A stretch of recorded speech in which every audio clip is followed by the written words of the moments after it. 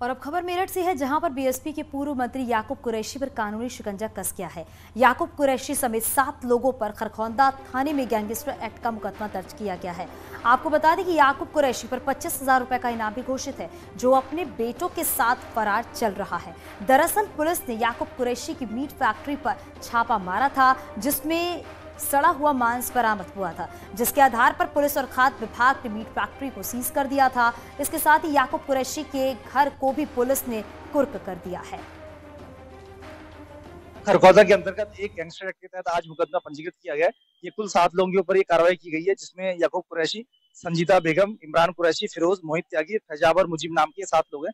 पूर्व में इसी थाने में एक अवैध रूप से मीट फैक्ट्री का संचालन किया जा रहा था जिसमें कि छापेमारी के दौरान ये पाया गया कि पूरी जो मीट फैक्ट्री है वो अवैध रूप से बिना लाइसेंस के संचालित की जा रही है। साथ ही साथ वहाँ पर सब स्टैंडर्ड जो गुणवत्ता से, जो मानक है उसके निम्न जो मीट फैक्ट्री के जो मांस के उत्पाद है, उनका प्रोसेसिंग वहाँ पे की जा रही है। और ये सब चीज़ें वहाँ पे बेचने के दौरान सही पाई गई थी, जिसमें चार्जशीट लगी थी और उसी चार्जशीट के जो मुकदमा है उसके आधार पर एक गैंगस्टर एक्ट की कार्रवाई इसमें की गई है। और पुराने जो मुकदमा है उसमें कुछ लोग गिरफ़्तार होकर जेल गए थे, लेकिन कुछ लोग इसमें फरार चल रहे हैं। और जो फरार चल रहे थे उनके ऊपर भगोड़ा घोषित होने की कार्रवाई की गई थी धारा बयासी सीआरपीसी के अंतर्गत। साथ ही साथ उसमें धारा तिरासी सीआरपीसी के अंतर्गत इसमें, उसमें कुर्की की कार्रवाई की गई है और उसमें कुर्की के दौरान के बाद इसमें मफरूरी में चार्जशीट न्यायालय में दाखिल की गई है और उसी मुकदमे में इसमें गैंगस्टर के तहत कार्रवाई की गई है। और बड़ी खबर मिल रही है, उन्नाव में युवती की हत्या का मामला पोस्टमार्टम रिपोर्ट से अहम खुलासा हुआ है। युवती के प्राइवेट पार्ट में निकली चोट सूत्रों के हवाले से जानकारी मिल रही है। ज़्यादा खून बहने से युवती की मौत हुई है। बुधवार को मिला था युवती का शव परिजनों ने जताई थी रेप के बाद हत्या की आशंका। ऑफिशियली अगर बात करें तो पोस्टमार्टम रिपोर्ट का इंतज़ार किया जा रहा था। लेकिन अब जो सूत्रों के हवाले से जानकारी मिलकर सामने आ रही है, वो ये है कि पोस्टमार्टम रिपोर्ट से कई अहम खुलासे हुए हैं। हमारे सहयोगी अनुज हमारे साथ जुड़ गए। अनुज, क्या जानकारी मिल पा रही है? पोस्टमार्टम रिपोर्ट आ चुका है और कई अहम खुलासे भी हुए हैं।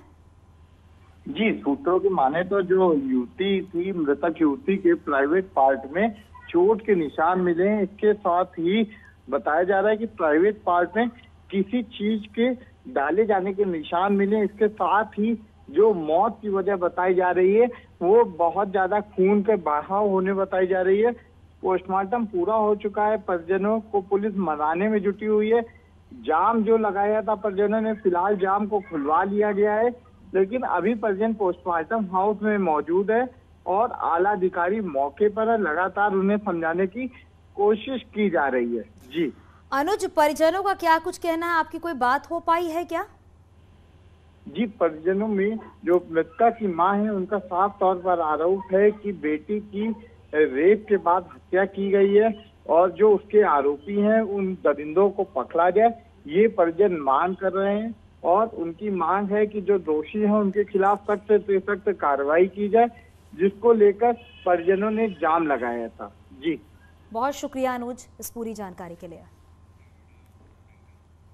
कौशाम्बी ज़िले में सरकारी धन के गबन का बड़ा मामला सामने आया है। कौशाम्बी जिला पंचायत की ऑडिट रिपोर्ट में 20 करोड़ के घोटाले का खुलासा हुआ है। ऑडिट टीम ने अधिकारियों को जिम्मेदार ठहराते हुए कार्रवाई के लिए शासन को रिपोर्ट भी भेजी है।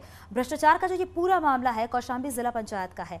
ऑडिट टीम की रिपोर्ट के मुताबिक जिला पंचायत के अधिकारियों ने पंचायत चुनाव में सबसे ज़्यादा धांधली की है। वित्तीय वर्ष दो हज़ार में दस करोड़ बहत्तर लाख उनतालीस हज़ार रुपए का अनियमित भुगतान किया गया और इसी तरह तरह से साल 2019-2020 में 8 करोड़ चार लाख रुपए का अनियमित भुगतान किया गया है, जबकि साल 2018-19 में एक करोड़ चौदह लाख छप्पन हज़ार रुपए और साल 2017-18 में अंठावन लाख अस्सी हज़ार रुपए का अनियमित भुगतान किया गया है। अफसरों ने बिना काम कराए ही करोड़ों का भुगतान किया था। ऑडिट टीम ने इसकी जाँच की तो सारी सच्चाई खुलकर सामने आ